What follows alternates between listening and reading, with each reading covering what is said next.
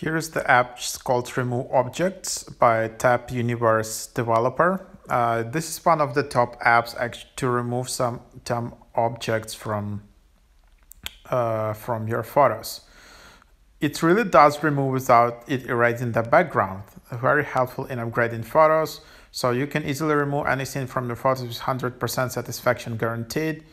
This app will be very useful in using to remove objects people pimp uh, like whatever. And yes there are many apps in this category. I also did an overview of this app object removal retouch and fix.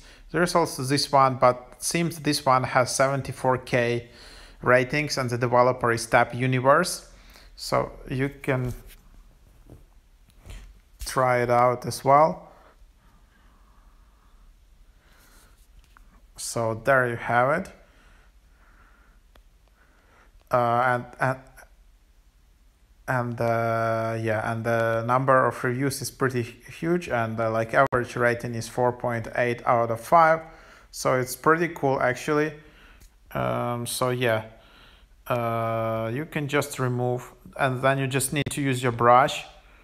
Uh, of course there is smart uh, eraser feature where you can upgrade, which is AI-powered object removal for super realistic results. Start your three days trial, then 299 per week. Um, and then you just need to open photos. So for example, if I have this photo and I want to remove this smiley on on on this uh, gradient background. Uh, so yeah, what I need to do is I just need to use this kind of brush and be careful because you need just to use it um, once. I think if you take it out, uh, it will just, uh, uh, yeah, it won't work. So anyhow, there you have it. Like this image was just removed. Uh, you can zoom in it's not perfect, as you can see if you just uh, move a bit to the left to the right, you can see that it's not perfect actually. So yeah, that's what it is. But yeah, you can move like that, just see the difference. And yeah. And then there is also lasso, there is also line. Um, yeah, so all of that. And then you can see erase mode, best quality, medium, fastest um, smart eraser.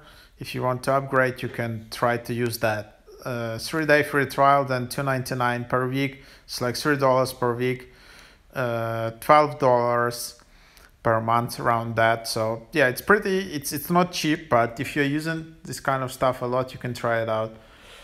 Uh, of course, then if you just try to save, uh, then your photo will be saved as well. Experience was pretty good. Uh, so yeah, there you have it. And then if I just open my photos, I can see that there you have it. There is no watermark, no nothing. So the image was just saved easily and it's pretty cool.